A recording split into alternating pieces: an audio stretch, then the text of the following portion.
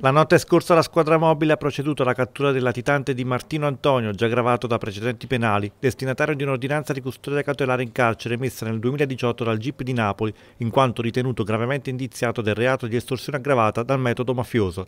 Di Martino è ritenuto ai vertici dell'omonima organizzazione criminale, operante principalmente nel territorio a ridosso dei Monti Lattari e in particolare nei comuni di Gragnano, Pimonte e Castellammare di Stabia.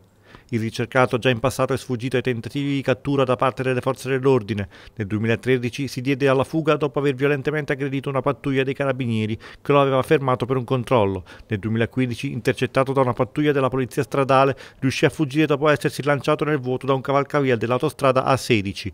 Nel 2018 si è sottratto all'esecuzione dell'ordinanza di custodia cautelare per cui è latitante gettandosi nell'area boschiva adiacente.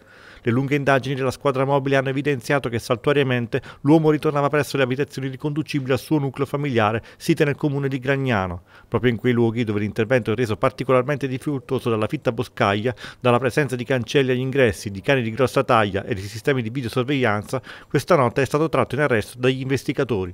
Al lato dell'intervento, l'indagato si è dato nuovamente alla fuga, nascondendosi all'interno dell'area boschiva adiacente all'abitazione, dove è stato rintracciato dopo circa due ore.